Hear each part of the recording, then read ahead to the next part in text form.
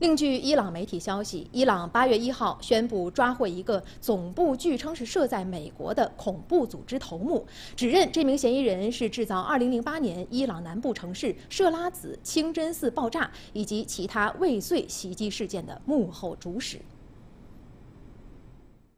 伊朗国家电视台一号援引伊朗情报和安全部一份声明报道，名为“闪雷”的反政府组织头目贾姆希德·沙尔马赫德被伊朗安全部队抓获，他涉嫌在伊朗境内主导武装和破坏活动。二零零八年四月十二号晚，伊朗南部一座清真寺发生爆炸，造成十四人死亡，二百多人受伤。伊朗政府认定爆炸袭击与“闪雷”有关。伊朗方面说，“闪雷”总部设在美国加州，意图推翻伊朗政府。